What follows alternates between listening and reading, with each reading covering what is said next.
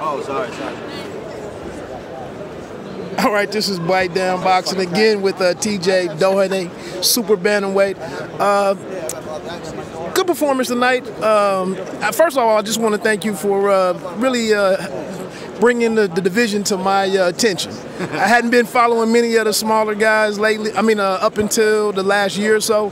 But a phenomenal fight with you and Roman uh, back in April, was it? That's right, yeah. So how did it feel getting back in here and getting uh, back in the win column? Yeah, it all feels good. You know, I've been dragging around that L for the past six months, and uh, I have to say it didn't feel nice. I would have liked him to get back out a little earlier, but with the powers that be, um, we got to be patient and just wait for what dates came up. And luckily enough, we got out tonight, back to winning ways, and now we move on. I uh, saw you come in, you know, jabbing to the body early, then moving in with some heavier body shots. Uh, just controlling the action and just breaking him down, basically.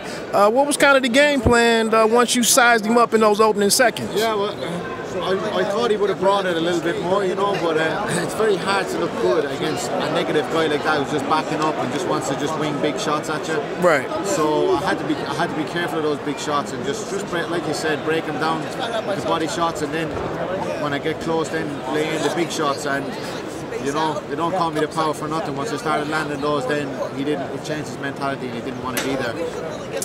Yeah, I saw him uh, looking. I think he was looking at his corner. Did you see that? He was looking at his corner uh, during the last knockdown. He was looking for a way out. I don't want to be disrespectful, but he was looking for a way out the whole way through the fight and um, it, made, it made for a, a, bit of a sloppy fight, you know.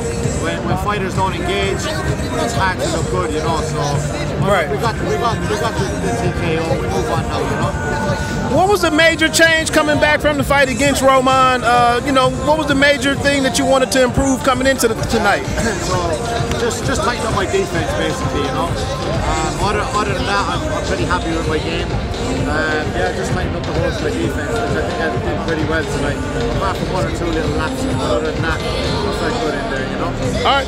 How did it feel? Uh, you know, you've been to uh, Los Angeles, obviously, with the Roman fight. Now here in Chicago.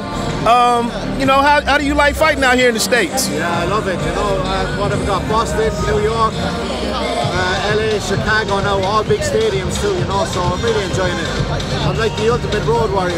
After being in so many cities around the world fighting, you know, but uh, really enjoying it, enjoying the journey. I just don't want it to stop. Okay. Really, really, really like it.